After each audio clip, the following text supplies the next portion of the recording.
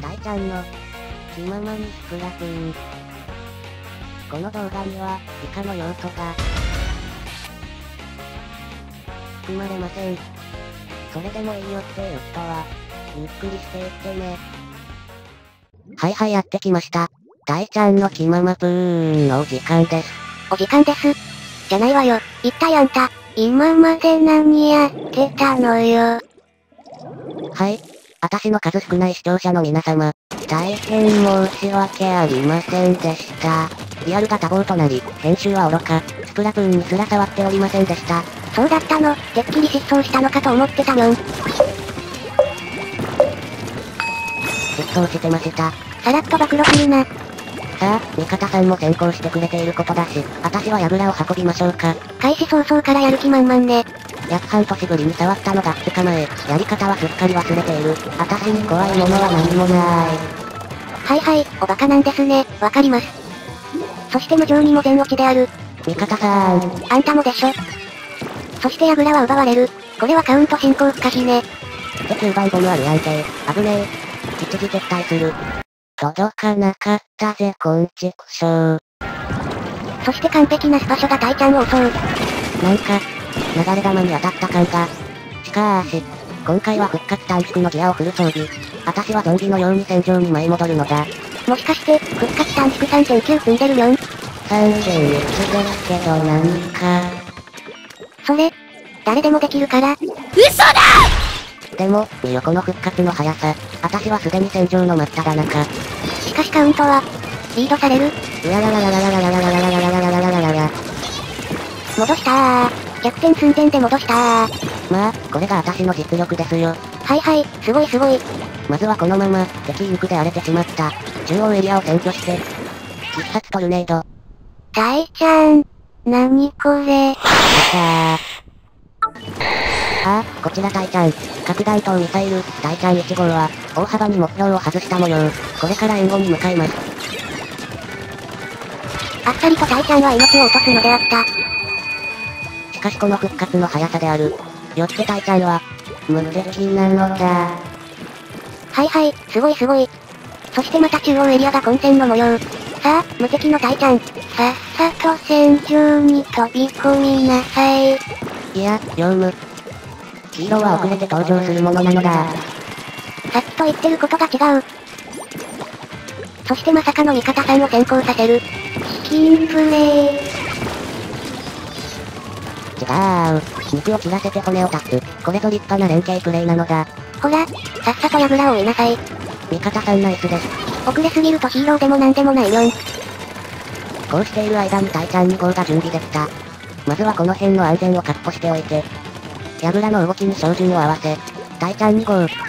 発射さっきの茶番は使わないよん。使い回しはつまらないかと。もともとつまらない動画だから。そしてまさかの相打ち。でもこれは、チャンス、一級前線へ。これって、もしかして、9番ボムだ一時退散、あでもそっちは、しっかりとやっておきました。そしてもう一度、やばい、櫓が取られてるよん。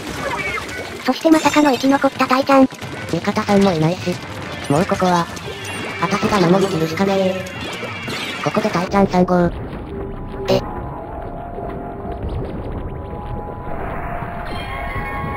終わったー。たまたま、たまたま、たまたまであんなピンポイントでは来ないにょん。狙われてたとしても、あれは上手すぎる。うおー、やられたらやり返すまで。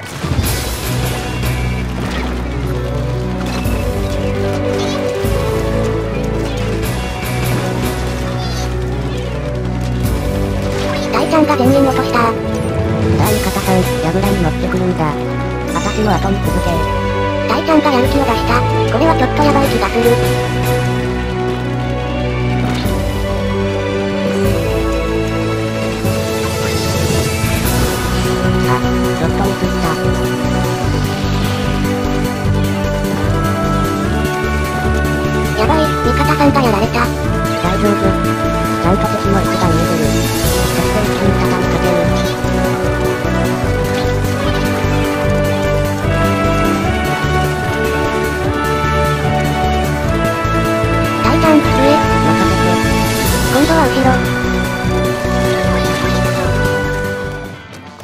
こまでか。残り時間30秒で、カウントを前進させたのは大きいにょん。でもまだ油断はできないから。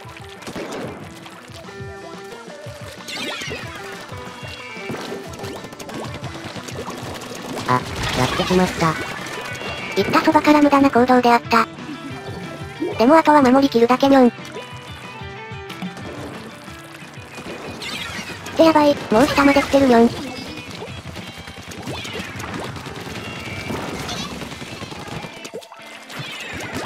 よし、もらった。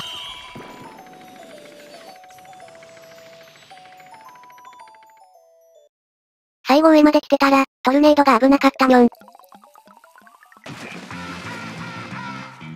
さてさて、今回のタイちゃんの成績は、